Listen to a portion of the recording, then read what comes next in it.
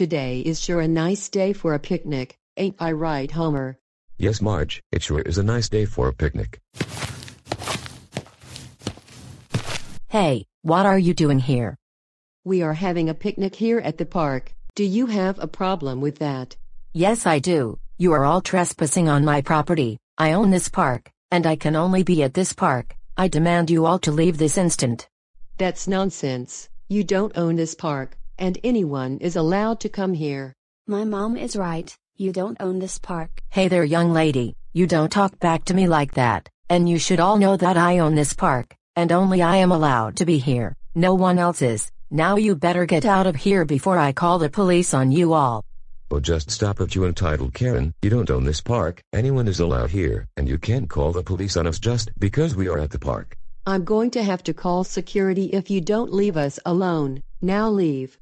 Oh oh oh oh oh oh oh oh oh oh oh oh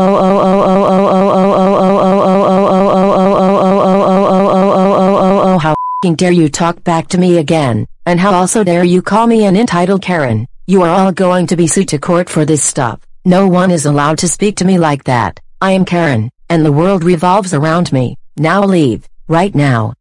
Okay, you know what, we all had enough with your Karen tantrums. I am calling security to kick you out of this park. Hey Homer, hold Maggie while I go get security. Alright then, Marge, go ahead.